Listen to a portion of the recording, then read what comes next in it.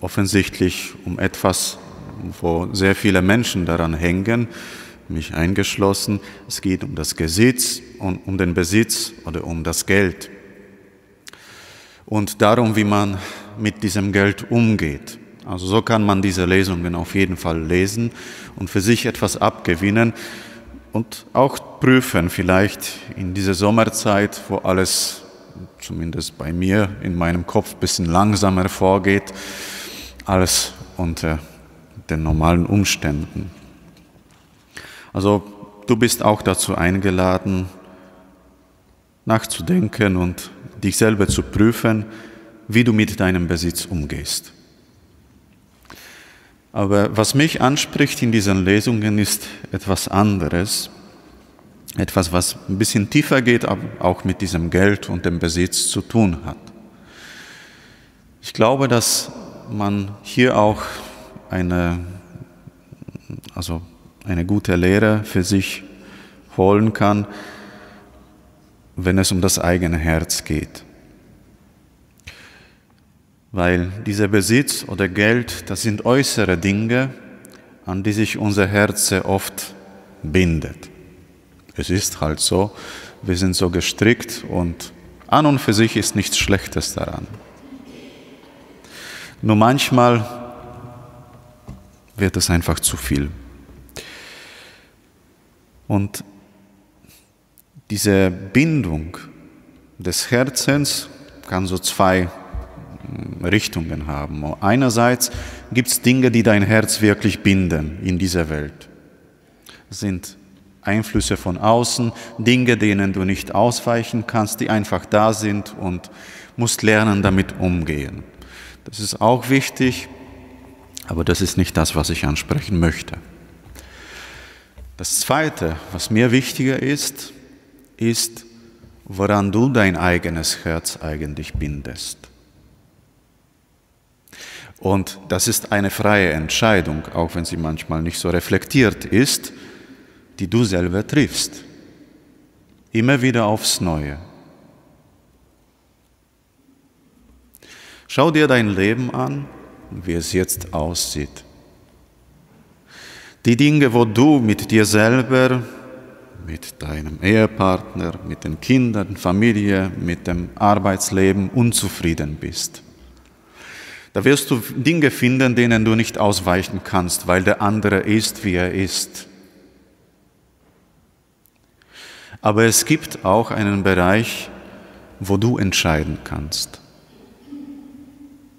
wie dein Herz sein soll, woran du dich bindest oder an wen du dich bindest.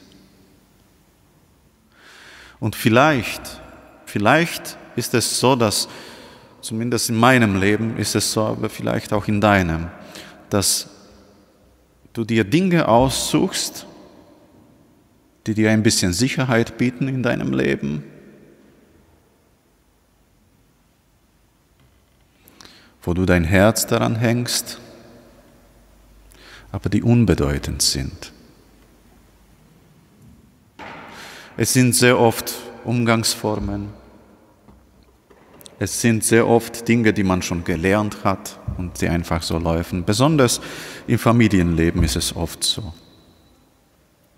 Man gewöhnt sich an sehr vieles. Und weil es einfacher ist, in dieser gewohnten Art und Weise zu leben, merkt man nicht, dass der andere sich verändert hat, dass der andere vielleicht im Moment etwas anderes braucht als das, was wir gewohnt sind. Woran bindest du dein Herz? Sind es diese, es müssen nicht immer äußere Dinge sein, aber so oft sind es diese Äußerlichkeiten. Dass du nach Hause kommst, vielleicht musstest du arbeiten oder der Tag war ein bisschen mühsam, willst dich einfach hinsetzen und nichts tun und der andere merkt das nicht, dass du müde bist, weil er gewohnt ist, dass du mit ihm redest, einfach für ihn da bist.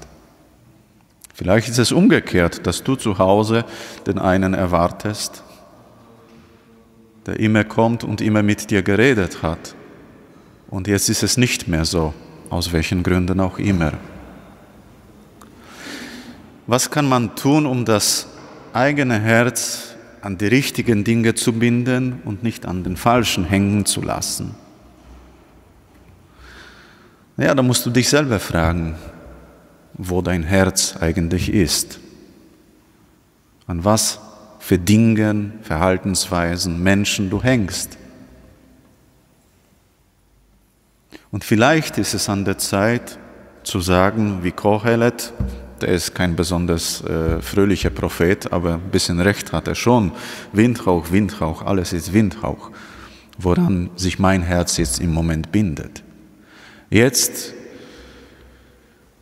muss man ranklotzen und um das eigene Leben kämpfen. Vielleicht um den Partner, um irgendetwas in der Arbeit, in deiner Familie, damit es besser wird.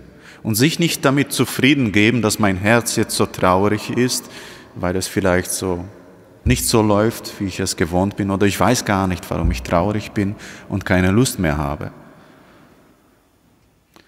Gebe dich damit nicht zufrieden, dass es dir vielleicht nicht so gut geht. Ich sage nicht, dass du all deine Probleme lösen kannst. Das ist nicht die Botschaft. Aber gib nicht auf, weil Gott fordert uns immer wieder dazu heraus, hinauszugehen aus dem Gewohnten. Und vielleicht ist es gar nicht so schlecht, damit anzufangen, was ganz offensichtlich ist in den heutigen Lesungen mit deinem Geld. Na, das ist eine gute Übung. Es ist nicht so kompliziert, muss man nicht so sehr in die Tiefe gehen, wie es mir geht und so weiter, sondern schaust, wofür du dein Geld ausgibst.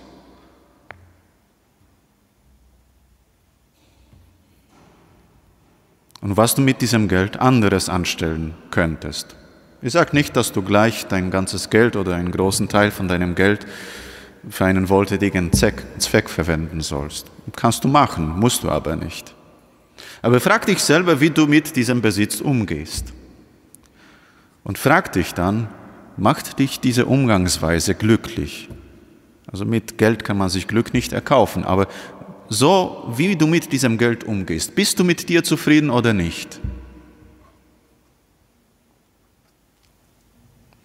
Und wenn du nicht zufrieden bist, Überleg, wie könnte ich zufrieden sein? Also ich sage jetzt nicht, wie könnte ich mir das Glück erkaufen mit dem Geld, sondern wie könnte ich mit mir zufrieden sein, wenn ich auf meine Finanzen schaue? Du kannst sagen, ich bin in Ordnung. Das ist so, wie ich leben will. Also wie ich mit diesem Geld umgehen möchte. Ich bin mit mir im Reinen. Und wenn du das mal schon geübt hast oder schon weiter bist, dann geh in die Tiefe und schau dir besonders das an, was nicht funktioniert. Ich weiß, das ist anstrengend, das ist mühsam, tut manchmal echt weh und manchmal ist man ziemlich ratlos. Aber dieses Hinschauen auf diese Bereiche, ist nicht dafür da gedacht, dass du dich quälst und so wie der Kohelet dann immer jammerst, dass es einem schlecht geht und dass alles für die Katz ist, sondern damit du etwas unternimmst. Versuch dich zu fragen, was für ein Mensch möchte ich sein? Das ist eine Frage, die mir persönlich sehr hilft. Aber wirklich, wenn ich merke, dass etwas nicht funktioniert, entweder Einflüsse von außen oder ich irgendwie Mist gebaut habe, dann frage ich mich, ich bin traurig oder resigniert, ich frage mich aber, wer möchte ich jetzt sein? Was für ein Mensch möchte ich sein? Und ich versuche dann, mir vorzustellen, was für ein Mensch ich eigentlich sein möchte. Und dann kann man eine Entscheidung treffen. Und sicher wird nicht alles funktionieren und du wirst nie so werden, wie du dir das vorstellst, wahrscheinlich. Aber darum geht es nicht, sondern darum, dass aus diesem Hinschauen auf die Bereiche, die vielleicht nicht so toll laufen in meinem Leben, man die Entscheidung trifft, etwas zu ändern. Und dazu lädt uns Gott ein. Und das ist das, was Jesus gemacht hat, als er Mensch geworden ist, also als Gott Mensch wurde. Er hat hingeschaut, was in dieser Welt nicht funktioniert und hat etwas unternommen. Und ich möchte behaupten, sein Tod und seine Auferstehung hat auch etwas verändert.